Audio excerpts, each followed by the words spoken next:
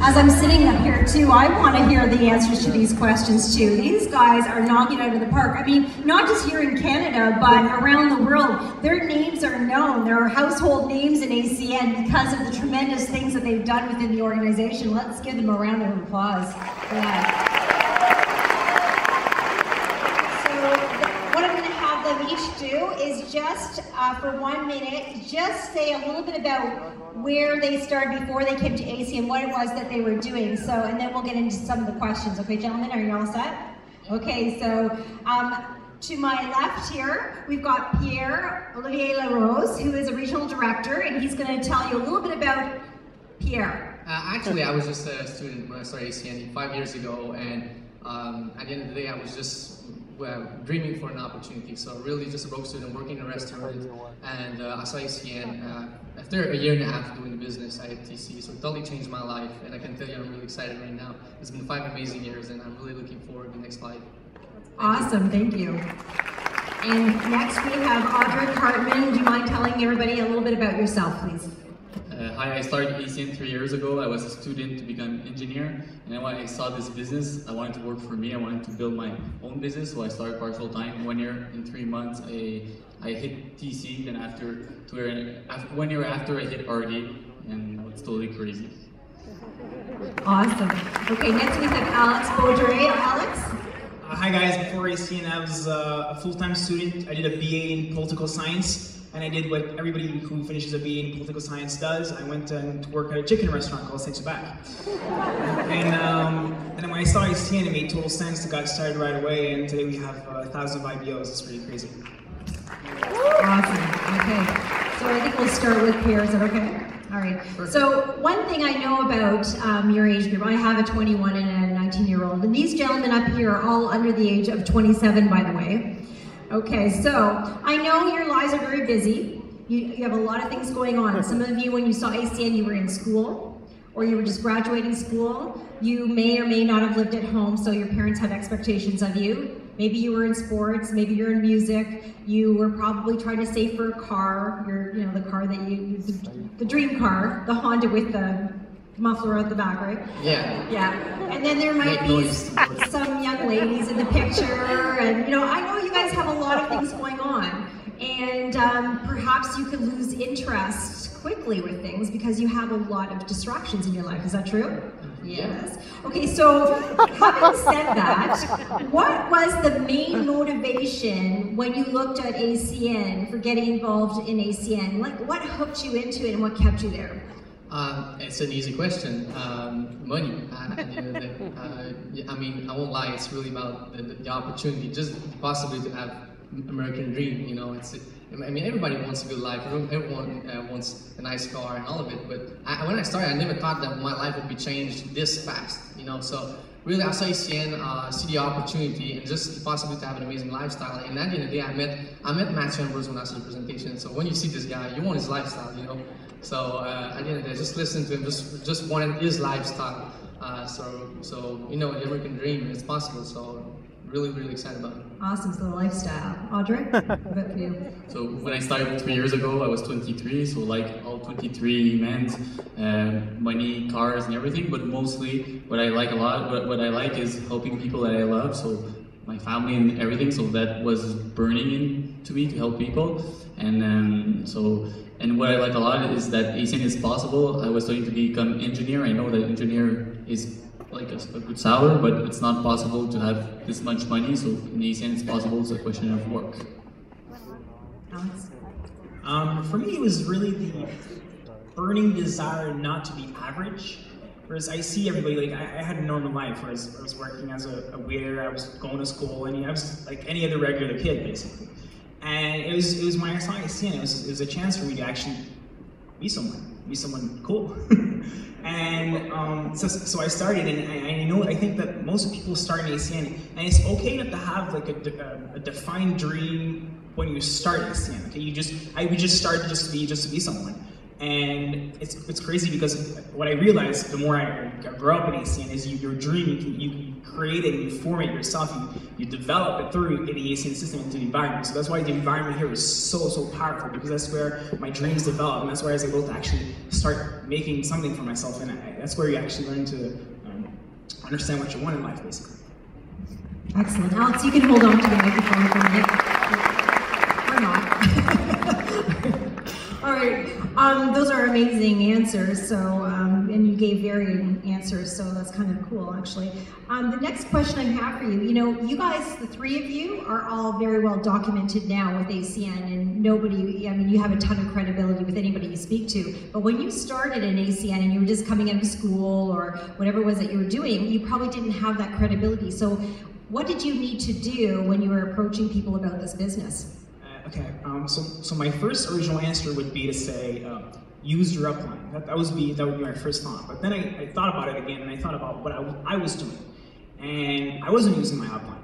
So that's where like not weak people, but that's like people who like use or need their upline do. But if you want to be a true leader in ACN, you need to step up, and it all starts in your mind. So when you want to build your credibility, I, I me I started acting overly confident, going to meetings and walking with your head high up and being, you know, walking like you, you were somebody super great. And your people will react to that. They'll, they'll feel that. And even though you sometimes you don't 100% say the right stuff, it sounds like it's the right stuff because you, ha- you act that way, right? so it's a, bit, a little bit of that. Also realizing what you have. So it's, it all starts in, in your mind for me in, in terms of like creating credi- credibility. So if, if you realize what ACN is and what, what ACN like, is today, um, anybody who's in front of you, they either have a job or they have a business. If they have the business, they're really stressed out. And if they have a job, they're even worse off.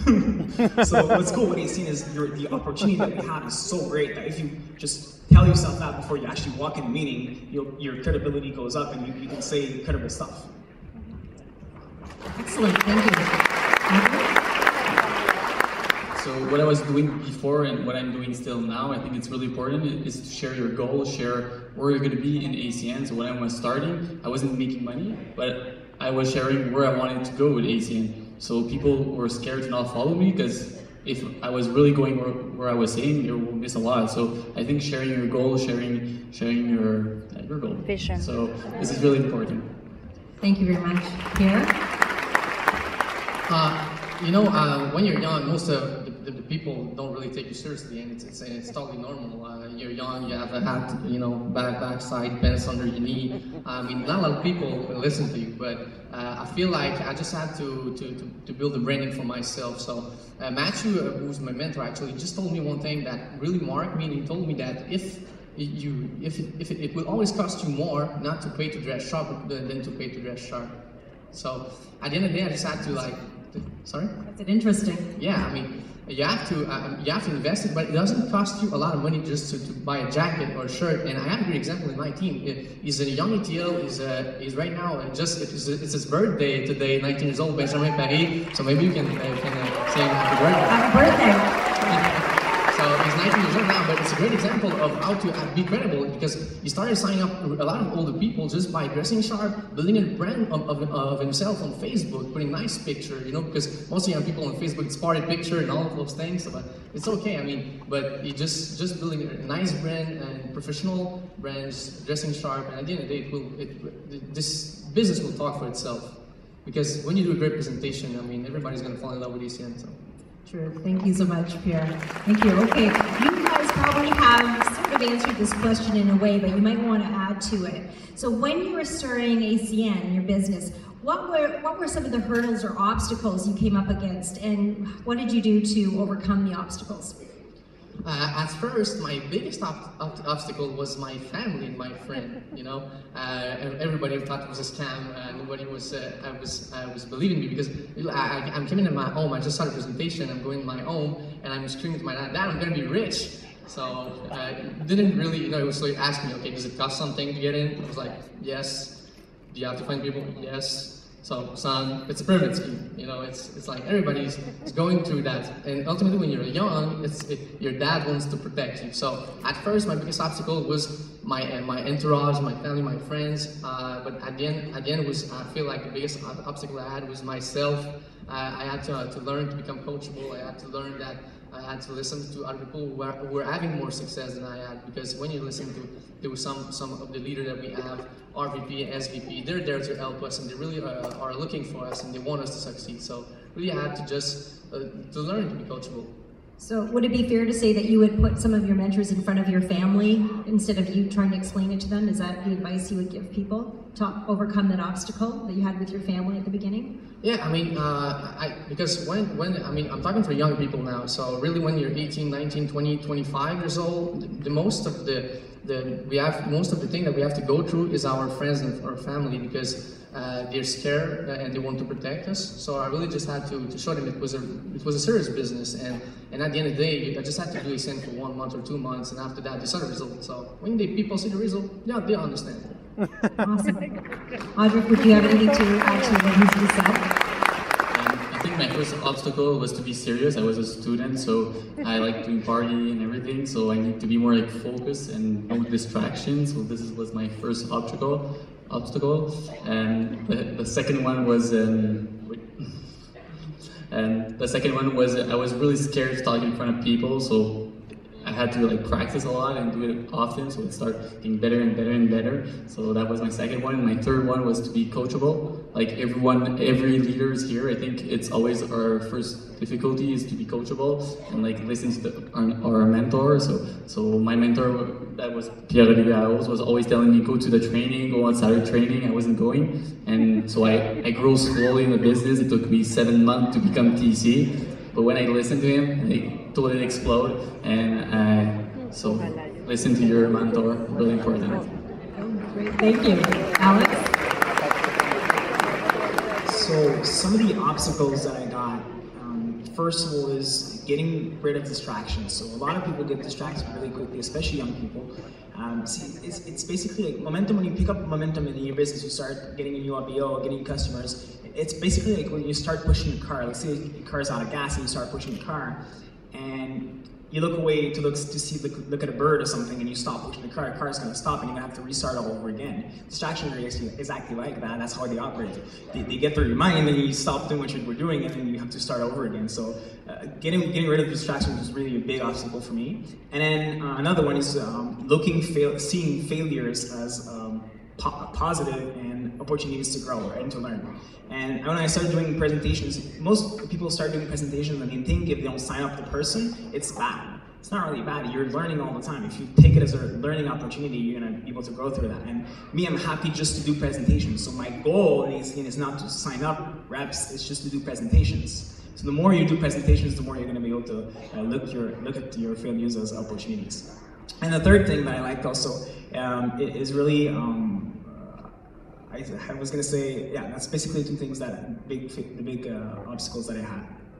So you can hold on to the microphone because I'm just going to take one step further. So if you could uh, look out in the audience and give the young people just one tip, just one, because you each will give your own tips, um, on how best to succeed in AC and what was that one tip that you would want to share with them? Okay, for all the young people out there, I would, I would say the two things actually. One of the first part of it is start looking long term. You know, a lot of pe- young people, they, and I know I see them in my team, they start ACN and, and they're more, more focused on the party that they're having tonight. And I'm thinking, guys, we're gonna be able to buy yachts in Miami in like five to ten years if we can keep up that way. You know, you can't. You gotta focus on long term, like five, ten years, twenty years vision. And that's that's people don't young people they don't never focus long term. And the second thing um, is, is really be able be able to be a serious serious student of your business. See, a lot of people getting the CN, they pay five hundred dollars on their credit card, and they're not serious about their business. So me, it was really like writing down everything that works, everything that doesn't work. I track everything, my numbers. I, am I'm a freak with, with the ACN business because I know that's what makes me win in ACN. So it's really being able to be a serious student, as serious as you're. If half the people here were serious in ACN as they were in their studies or whatever in life, they'd be like blown up in ACN, blown up. So just be serious, a serious student of the business.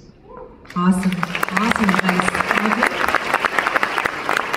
Audrey? And my first one is work hard. I think you can have success if you don't work really, really hard. So this is for this is the first one, and uh, the second one I think is don't be scared to make mistake. Uh, you need to make mistake to learn. So if you're not ready to present and no one's there to present for you, just present anyways, and you're gonna learn by doing mistakes. So this is really important when you start. I think doing mistakes and just get up and start over.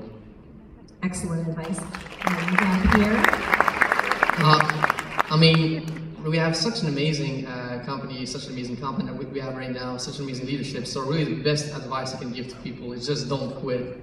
Really would be it. I mean, just don't quit. If you're right now, if you're think about that, if you're 18 years old, 20 years old, 25 or, or 30 years old, I mean, what's five life? What's five years in our life? That we just have to sacrifice a little bit, just work a little bit for five years, maybe one or two or three years, and after that, you never have to work again in your life. And that's what happened to me. After after I said after two years in the business, I never had to look back. So so I mean, what, what's five years in our life? Because I mean, if you're 18 years old, you're gonna be 23 or, or gonna be 24, 25 or 30 years old, you're gonna be free for the rest of your life. So the best advice I can give, I can say this to, to anyone here, just don't quit. Because what you're saying right now is, is it's real, and it can be more real than that. That's very powerful. That's so. Okay, so this, the next question actually on their list, so we're going to see how they tackle this one. And this is actually something that I personally want to know, and I'm sure everybody my age group will want to know this. Um, you guys are highly successful. Um, you know, we've met a lot of young people. I know a lot of young people, but not all of them have your drive, perseverance, have had your success in life at such a young age. Uh, it's impressive to say the least. So if I wanted to attract somebody like any of you into my business being a more mature, and I'm not talking about that I'm smarter than you. I'm talking about that I'm a little older than you.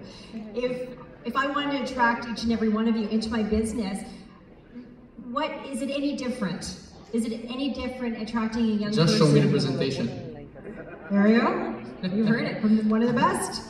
Mean, it's it's really it's, it's that it's that simple. It's not about the age or or when if you're 20 years old or 30 or 40 or 50. It's really just showing the presentation because most of the time, uh, I mean, when you're young, you're scared to talk to older people, and and maybe I don't know, maybe if you're older, you're maybe scared to present to younger people because of the of the relation that or being able to relate to the people. But at the end of the day, uh, ACN is going to speak for itself. So so it's that simple. Awesome, awesome.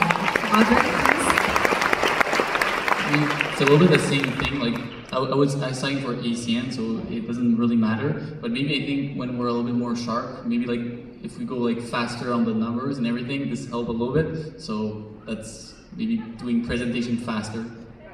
So faster. Okay, I got it. and why is that? Because you just you need to just move things Yeah, faster because you like lose see, interest, see or the numbers and like yeah. Okay, there we go. We have it. All right, and Alex, is there something you'd like to add to that? Okay, so if I was, let's say, an older person and I would want to attract someone like us, um, so one of the things that how ACN works is basically you have to, to be able to attract someone, you have to relate to that person in the first thing. So, uh, of course, relating to the, to the person that you're presenting is, is important. And also, like, finding out and getting out, the, like, like Audrey said, like, the shark in you guys. And, you know, looking for people who are, like, there's a lot, there's tons of kids, like I say, 18 year old, 19 year old, who are very money hungry. So if you, if you want to attract people who are a bit younger, it, it's, it, it, you gotta, you guys gotta focus more on the money part. Because we were really focused on the money part. And, and obviously it's not only, ACN is not only the money, but if you focus on the money part, you'll be able to attract more uh, young, like driving people. And I say, you know, like relate, like be, be more like the person that you're in, in, in front of, and then have a lot of drive. You know, us we do meetings like really late at night. We'll do meetings like one o'clock in the uh, one o'clock, two o'clock, no no problem. You know, and you know, I, I, actually my mom's her, my mom's a team coordinator, and uh, she's always telling me, how do we, how do I find people like you, like you know, and I'm telling you, you have to, you have to go out later at night. You have to do the work. You have to work really really hard. You know, and that's why it's. It's what you have to do, you know, work as hard as you can and be able to relate with the person as much as possible. Awesome. Well, I think uh, we can all agree in this room that these gentlemen are not sitting in these chairs for a reason. They walked across the stage as regional directors, top in the world for a reason. And I know, I feel that I learned a lot from these gentlemen. The one thing I know about this business is that age has nothing to do with anything. Um, I watch people of all different age groups and from all different backgrounds, and I know I learned so much from so many different people, and I learned a lot from you today. So let's give it up for our young panel, panel this evening. Thank you so much.